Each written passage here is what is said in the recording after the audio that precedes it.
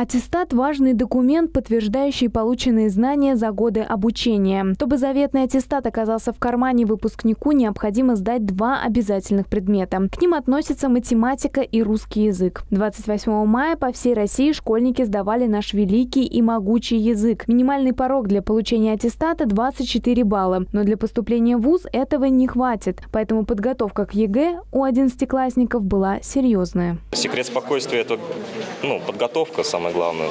Два года у нас было на то, чтобы подготовиться, и я считаю, что я готов. Сочинение написать без повторов, самое тяжелое.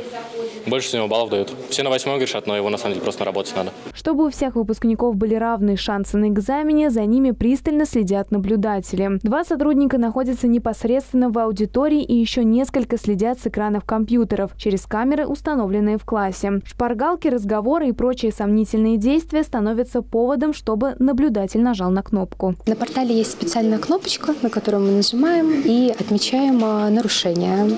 И в дальнейшем она уже просматривается и решается, было ли это действительно нарушением. В поле зрения проверяющих попадают не только школьники, но и учителя. Они тоже могут совершить нарушения. Это работа с КИМом. То есть, например, если ученик э, выходит а, и у него не проверяют полностью весь э, КИМ а, наличия, то это тоже является ошибкой.